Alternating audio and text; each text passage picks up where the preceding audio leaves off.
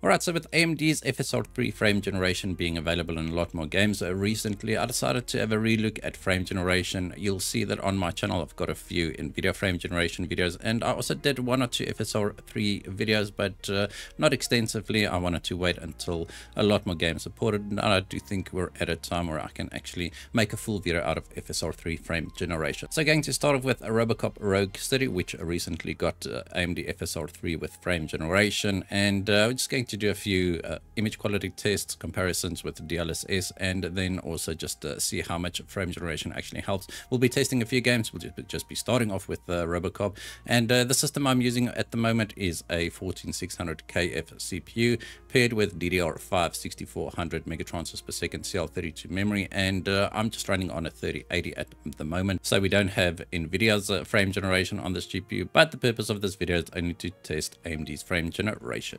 Alright, so first off, we're just going to run down this corridor here. I'm just going to reset the numbers and uh, we'll be doing some slow-mo action here. Uh, this is without any frame generation. This is just with FSR set to quality. And then on the Epic preset, uh, I'll show you the settings as soon as we go and enable frame generation again. As you can see, with the FSR set to quality, we're getting around 83 frames per second here.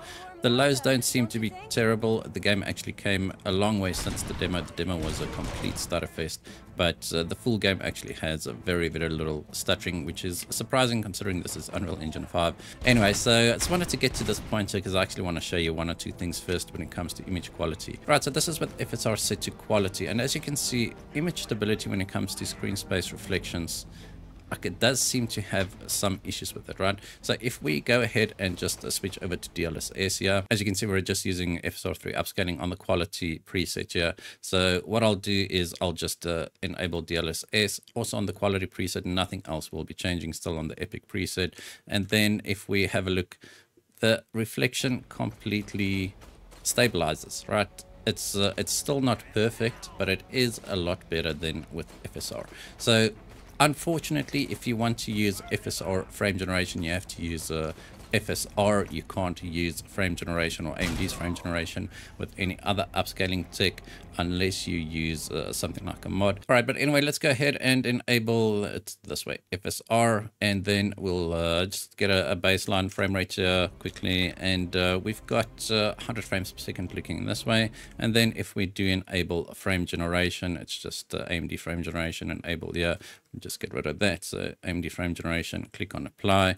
And uh, if we go back into the game, we are now getting 160 frames per second. So we got a 60% performance boost here, not performance, A 60% uh, bump in the frame rate, right? Because uh, frame generation does not give you extra performance, but it's supposed to Uh, up the frame rate quite a bit to increase the motion fluidity, right? But as you can see, with the, even with the frame generation enabled, the reflections, uh, it's very unstable. There's there's a few things like that. Whether that's going to bother you or not, that's uh, that's up to you to decide. Personally, if I can use DLSS above uh, FSR, I would definitely do that.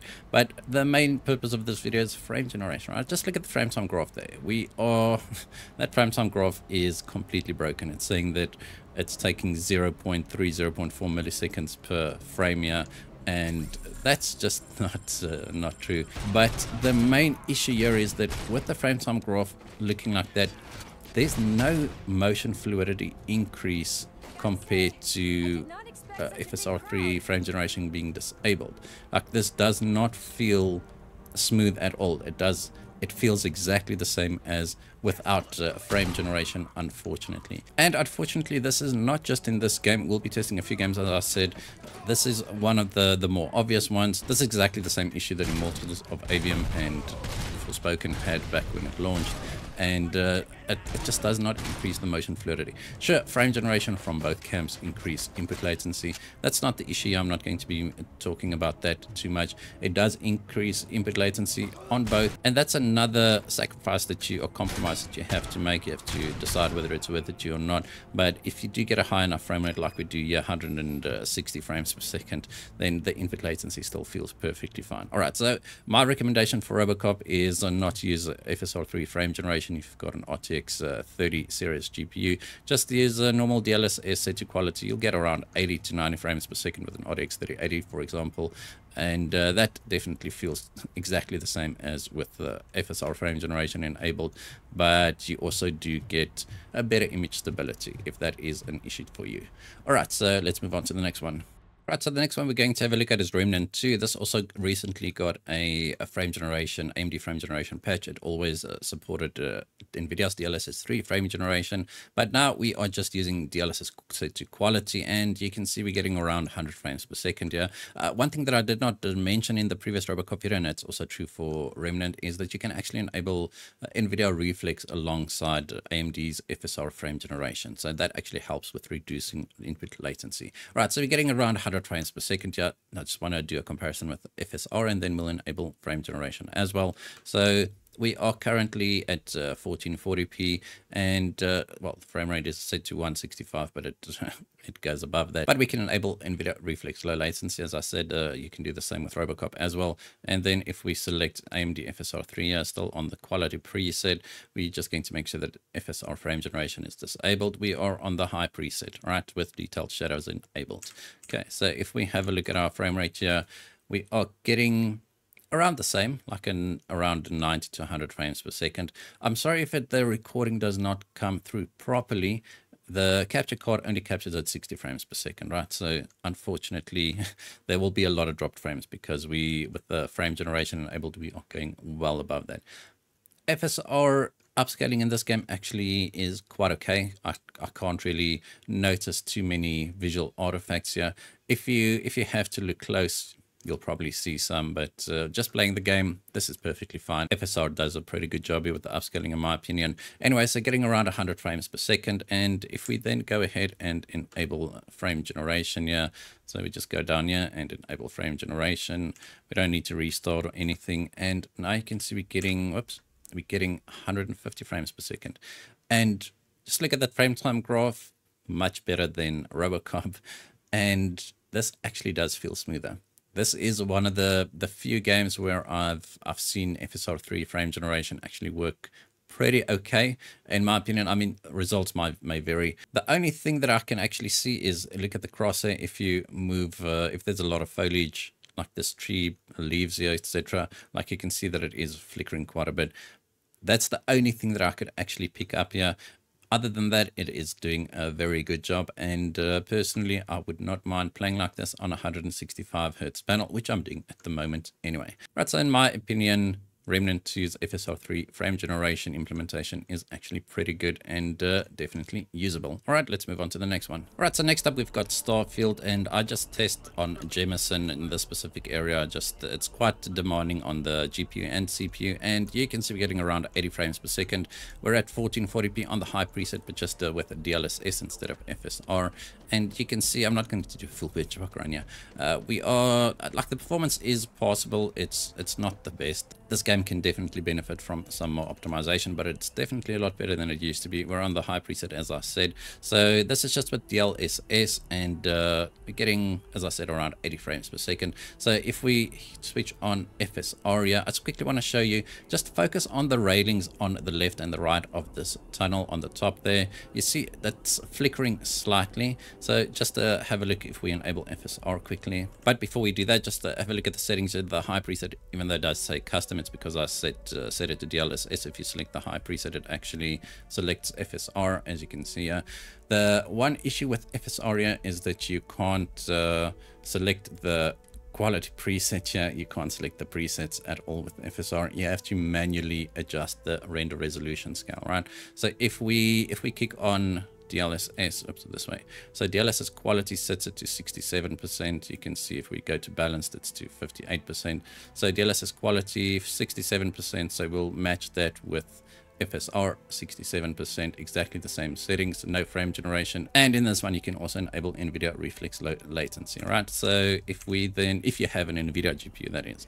So now just look at the railings everything is just flicker flickering quite a lot. Even down there in the tunnel where the quest marker is, the image just becomes very unstable, right? But if we have a look at the performance here, we're still getting around 80 frames per second. It does seem to be slightly lower than with DLSS. It might just be that the, let me just reset the numbers there, there was a spike.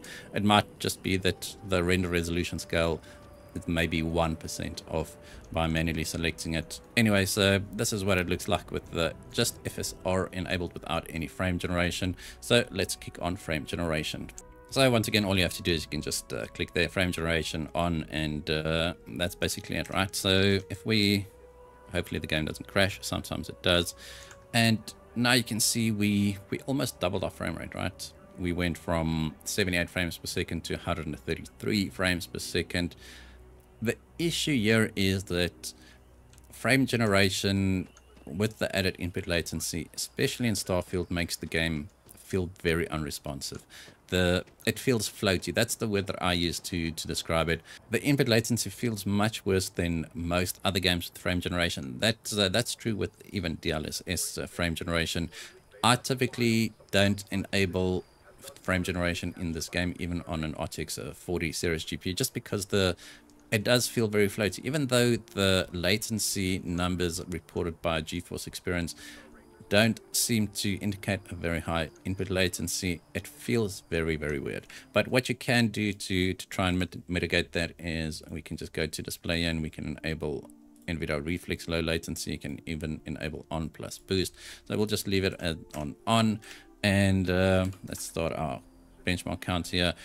It does feel slightly better, but still it feels very unresponsive. Now Starfield is not the most responsive of titles even without frame generation. So if you can live with the additional image instability as you can see there and the additional input latency then you can definitely use FSR3 here. It does it does look 120 130 frames per second you can definitely notice an increase in motion fluidity here especially on a high refresh rate monitor but it does come with some sacrifices right uh, the flickering and the exceptionally high input latency noticed in Starfield. Once again, that is true with the DLSS frame generation as well.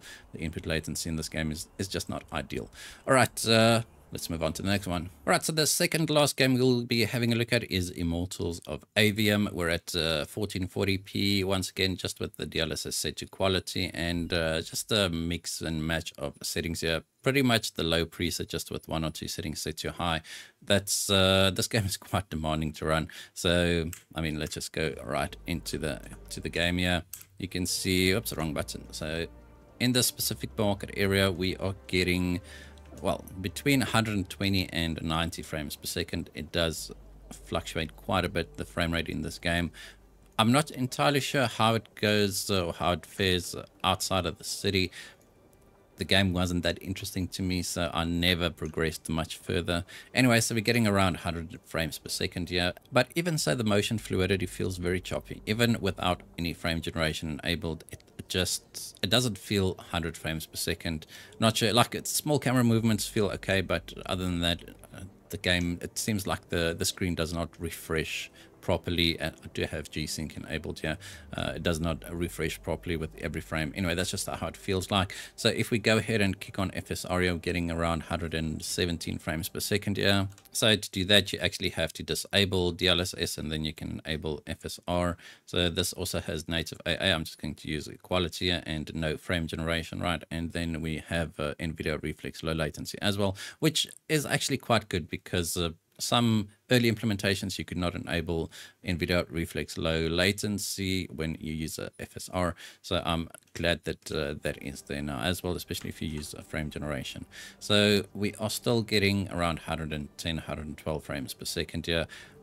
The same issues, motion smoothness or motion fluidity is it's just not there like it it feels if you can if you look at the frame time graph there it might explain it like there's a, a lot of micro stuttering mini stuttering going on does not feel like a good experience at all. And uh, that's uh, that's Jessica from Suits. Anyway, so if we then kick on frame generation here, we go from 110 frames per second to 155 frames per second with no increase in motion fluidity like none whatsoever this feels exactly the same as it did without frame generation it feels it feels terrible. I don't even notice an increase in the input latency. As I said, like, uh, sure, if you do have a high enough frame rate like we do have here, input latency becomes a, a lot less of an issue. But you should feel a difference, um, which I'm not. And I know once again you have to take my word for it. If you if you don't want to take my word for it, that's perfectly fine as well. I'm just trying to explain my experiences here. And uh, once again, the frame time graph is doing exactly the same as what it did in Robocop.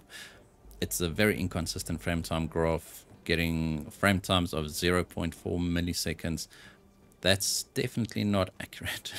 Still, the stuttering is there, the the motion fluidity not increased at all. So once again, if you do have an RTX 30 uh, series GPU or an RTX 20 series GPU, just use DLSS uh, without any FSR frame generation. Same goes for if you have uh, an AMD GPU, just don't use the FSR frame generation in this game. It just seems completely broken at this point. Not sure if it'll be patched. I mean, this this is pretty much what it's been like since launch. Not sure it will be fixed. Not sure what the issue is, but at the moment, definitely just avoid it. All right, let's move on to the last one. All right, and the next one is the most uh, contentious or controversial one of them all is Avatar. FSR 3 frame generation actually used to work quite okay in this game until a recent update. Currently, I'm just playing with the DLSS balanced. Uh, let's just quickly go over the settings here before I before I forget. So I am playing in windowed mode. I'll explain why. So we use uh, NVIDIA's upscaler and it's set to balanced. And then if we have a look at the graphics here, it's just set to the high preset. Okay, so let's just go back, uh, make sure that the frame rate is pretty much uh, what we expect it to be at around 100 frames per second. Now, this game is pretty demanding. It does use ray tracing as well, and uh, certain areas would drop quite a lot. But this is a pretty good experience, 90 to 100 frames per second in this game. It's a very good looking game. It's one of the best looking games I've personally ever played. And upscaling in this game doesn't look too terrible either. DLSS does a pretty good job here. It's only reflections, water reflections that take a big hit once you start enabling uh, upscaling. It's not perfect at native either, but once you enable uh, upscaling, it does become apparent that uh, there's some issues with the reflections. All right, so you can see we were sitting at around 95, 96 frames per second. Let's just uh, kick on FSR quickly. So we'll just use FSR 3 and uh, once again, just also on the balanced preset. That's that's basically where I play it because I do prefer around 100 frames per second. And if we have a look, we're still getting around 90, 96 695 uh, frames per second. So really no no difference at all in the performance here. But moving the camera like the trees in the background there, you can just see quite a bit of a shimmering. This is once again just uh, FSR being FSR. Now, I know it sounds like um, I'm trying to, to diss FSR here. It's just that there are some differences uh, when it comes to image quality, when it comes to DLSS versus FSR, right? So if I have to choose, I'll always choose DLSS unless uh, I want to use FSR frame generation for a high frame rate. And uh, that's exactly what we'll be trying out now. So this game actually has an issue with enabling frame generation if you have MSI Afterburner running. So I'm just going to go ahead and close that quickly. You actually have to close it before you hit apply. Otherwise, the game just uh, crashes. All right, so it is on now. And now we have to manually enable it again. And the game just crashed. Like this also never used to happen in the previous version. I've got no idea what these guys did with the latest patch. Okay, it seems to be back. It actually just hung for a while. But anyway, we're back. So if we go back now, let's just uh, hide that. So if we refresh our numbers, we're getting around 150 frames per second. Okay, so that's a pretty, pretty big boost in the frame rate, but it feels worse than 80 frames per second or 90 frames per second that we had earlier. Now, there are a few guesses as to what's happening, and I have to somewhat agree. It looks like that some frames are being duplicated. So you are getting almost double your frame rate, but it's because frames are duplicated. Now, that's that's not an official conclusion. That's just what it feels like and what it looks like. All right, so I'm just going to move the camera slowly here and slow it down in editing. I'm not sure if it will come across with uh, YouTube being locked to 60 frames per second, or I mean, the capture card is also locked to 60 frames per second. Unfortunately, I don't have a high refresh rate camera that I can capture and uh, upload it that way. It still probably would not show it quite well because uh, YouTube is still locked to 60 frames per second.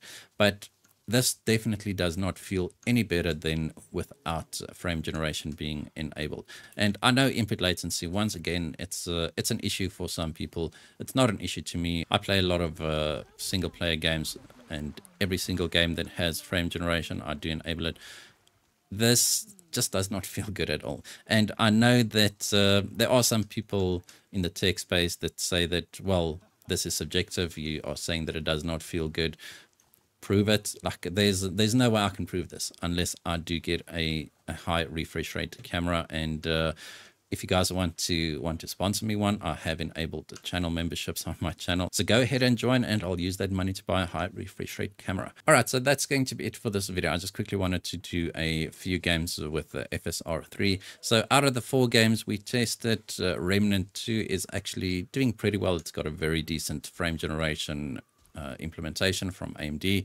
Then Starfield, mm, it's possible, but very high input latency, then Robocop is completely broken, and this is completely broken as well. Even though the frame time graph shows the frame times being perfect, if I disable frame generation, yeah, it feels exactly the same. And like even the input latency feels exactly the same. So that that should should tell you that something is not working as it should. And the only conclusion that I can draw is that maybe there's some caveats to, to implementing AMD's frame generation some games that some developers are maybe not aware of, or maybe they have issues with implementing it because Avatar used to work perfectly fine. At launch with the FSR3, or not when the game launched, when FSR3 first launched in this game, it it did exactly what uh, what it's doing now. Then after a month or two, it became very usable. It was actually a very good experience on the RX 6800 XT that I've got. And uh, then since the latest patch, it's just it's just falling apart again. So I do think that it's just something to do with the implementation. I don't think the technology itself is uh, at fault here because uh, some games it does work perfectly fine. All right, so thank you guys for watching. Hope you enjoyed this video. If you did, hit that like button, hit the subscribe button, and as always, we hope to see you in the next one.